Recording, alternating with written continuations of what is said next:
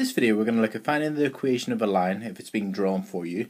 Um, before you watch this video I'd recommend that you watch two videos. One is on uh, equations of lines or it might be called y equals mx plus c. Another video is called uh, finding the gradient.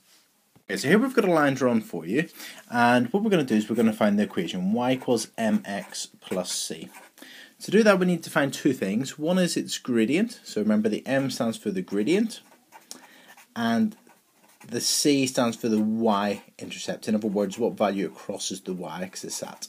Okay, so the y-axis is this one, so it crosses at minus 1, so it's going to be y equals something minus 1, so it crosses here at minus 1, so the y-intercept is minus 1.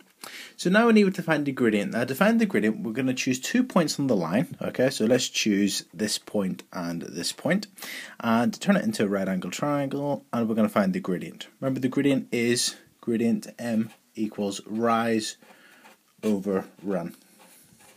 So you work out the rise and you divide it by the run. So the rise is 2 and the run is 1. 2 divided by 1 equals 2. That means the gradient of the line is 2. So that means that you replace the m with a 2, so you write 2x. So the line is y equals 2x minus 1. So it's got a gradient of 2 and it crosses at minus 1. Okay, so again we're going to find the equation of this line. So it's y equals mx plus c. So let's first of all work out the gradient, the m. So choose two points. So I'm going to choose, um, I'll choose this point and I'll choose this point. Now you can choose any point at all on the line as long as um, it goes through an exact coordinate. So this obviously is minus 1, minus 3. This one is 1, 3. For instance, I wouldn't try and use this point because you can't. it's not an exact coordinate. So choose two exact coordinates and turn it into a right angle triangle. And we're going to use rise divided by run for the gradient. So the rise is 1, 2, 3, 4, 5, 6. And divide that by the run, 1, 2.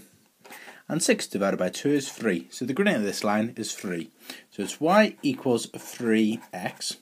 And then plus, well the y-intercept here is 0. So you could write plus 0, but I suppose there's no need. So this line is y equals 3x. Okay, we're going to find the equation of this line. So again, it's y equals mx plus c, where m is the gradient and c is the y-intercept. Let's find the gradient m. So choose two points on the line. So let's choose this one and this one. So again, turn it into a right angle triangle. And we're going to do rise divided by run. So the rise is 1, 2, and the run is 1, 2, 3, 4.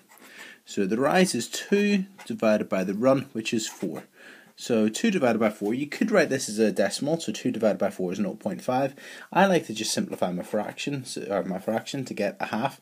So I would just simplify that. So you're going to get y equals, and the gradient is a half, so a half x plus, and c was, it crosses the y-axis at 3, so it's going to be plus 3. Okay.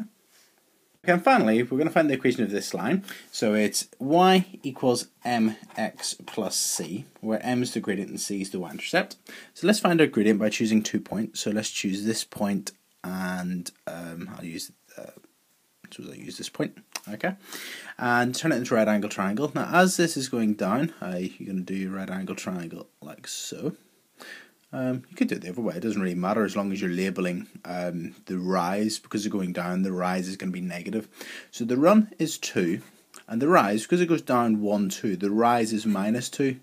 So rise over run equals rise minus 2 because it's going down, divided by 2, which is equal to minus 1.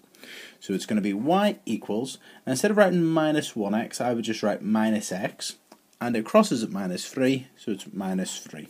So it's y equals minus x minus 3.